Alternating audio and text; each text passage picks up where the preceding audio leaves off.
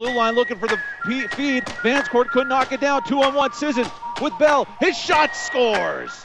From K-Town to the Music City, Kelowna Rockets captain Colton Sissons has signed a three-year entry-level deal with the NHL's Nashville Predators. The 18-year-old from North Vancouver was selected 50th overall this summer's NHL entry draft. He is, of course, still eligible to play for Kelowna this upcoming season.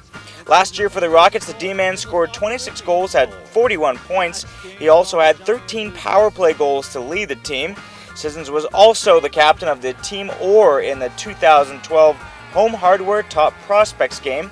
He joins the ranks of Rockets D-man Damon Severson, who signed a entry-level deal with the New Jersey Devils last week. Kolby Solinsky for Black Press.